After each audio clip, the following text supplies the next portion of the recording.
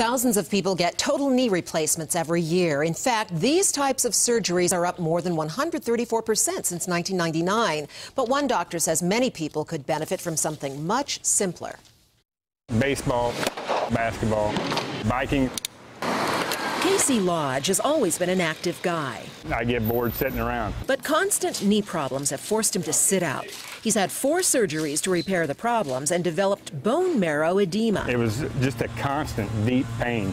The traditional answer has been uh, a knee replacement. But Dr. Preston Wolin had another option for Casey's arthritic knee. So that the patient, instead of getting a plastic and a metal knee, gets to keep their knee. It's called subchondroplasty. This device guides the doctor to the part of the bone near the joint that's causing pain. A small incision is made and special cement is injected. Right into the bone. Done by itself, Dr. Wolin says recovery time is six weeks compared to four to six months for a knee replacement. Casey had it along with another procedure to help with a knee malalignment.